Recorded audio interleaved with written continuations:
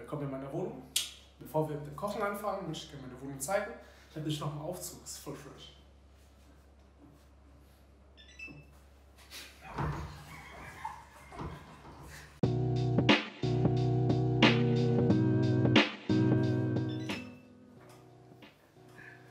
Hi, ich bin's wieder, MD. Heute kochen wir Wasserspinat auf vietnamesisch Ramon.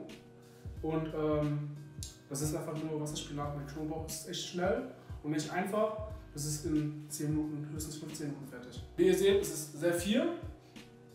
Wenn ihr fertig seid, ist das eine halbe Portion. Also Wasserspinat ist wie normaler Spinat, wenn ihr es kocht, ist es weg. Wir brauchen zwei Bündel Wasserspinat, zwei Zehen Knoblauch, einen Esslöffel Austernsoße, ein Teelöffel Fischsoße, Öl, ein Esslöffel Essig. Aber das könnt ihr mal abschmecken, nachdem wie es euch schmeckt. Ich mache das so ein bisschen säuerlich, deswegen mache ich da ungefähr einen, einen halben bis einen ganzen Esslöffel Essig rein. Also das ist Reisessig, der ist nicht so penetrant. Pfeffer und Salz. Bevor wir anfangen, wird er mal Wasser zum Kochen. Äh, Das ist einfach nur dafür da, damit ihr den Wasserspinat einmal blanchieren könnt, damit er die Farbe behält. Und ähm, dann kocht es auch in der Pfanne viel schneller. Und dann schneidet ihr die Enden vom Wasserspinat ab. Ungefähr so. Muss nicht viel sein, weil das Ende ist ziemlich trocken und sieht nicht sehr feierlich aus.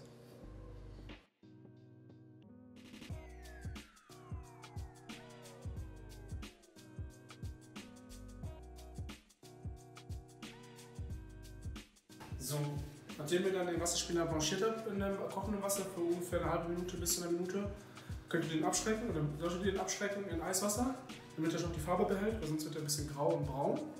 Und wenn ihr damit fertig seid, das Wasser abgießen, dann können wir auch schon sofort starten mit dem Braten. Und dann können wir schon mal die Spinat reinpacken. Achtung. Könnt ihr schon hören, wie es zischt. Dann einmal maximale Energie! Dann verteilen. Dann hauen wir einmal das Öl rein.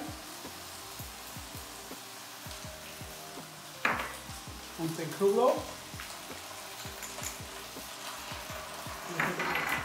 Ihr schon hören, diese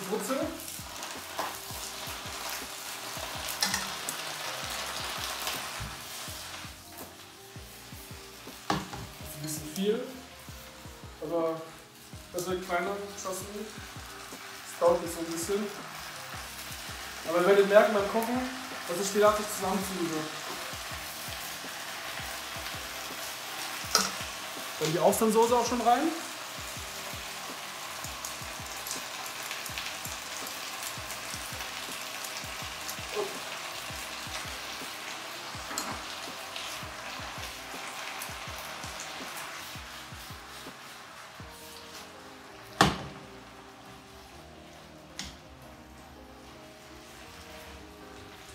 Mal schön gut untermischen, dass dann jedes Blatt Spinat und jeder Stock Soße bekommt.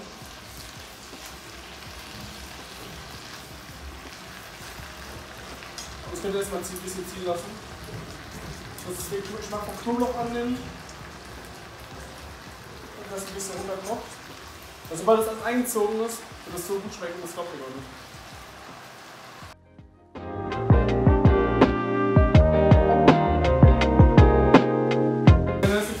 Frisch gelassen habt, könnt ihr eine Prise Salz reinmachen. Das ist ungefähr die Spitze von einem Teelöffel. Und noch schon zum Ende den Herdplatte ausmachen und die Fischsoße reinmachen, weil sonst verbrennt die Fischsoße. Und die Fischsoße brennt sehr schnell an. Einmal so.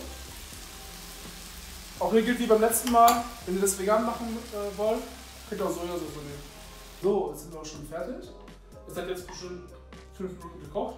Ähm, bei der Würzung wollte ich euch noch dazu sagen, ich habe jetzt, ähm, das sind meine Angaben gewesen, aber wenn ihr das würziger essen wollt, könnt ihr immer noch mehr Salz reinmachen oder mehr Fischsoße oder halt Sojasauce. Aber für mich passt das so. Und das ist auch schon fertig. Ist noch ein bisschen Soße mit dabei. Und das mit Reis schmeckt deliziös.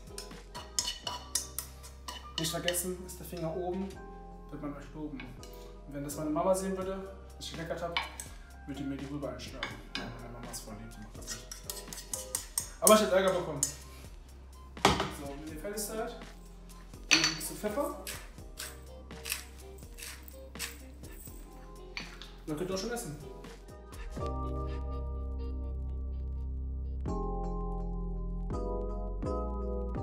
Also ich habe heute Ramone gekocht, weil es eins meiner Lieblingsgerichte ist und auch eines der Gerichte war, was ich als erstes lernen wollte, weil es halt so einfach ist und schnell geht eigentlich und dennoch so gut schmeckt. Und wenn euch das Video gefallen hat, lasst mir ein Like da, abonniert den Kanal und schreibt in die Kommentare rein, was ihr gerne als nächstes sehen wollt. Bis dann.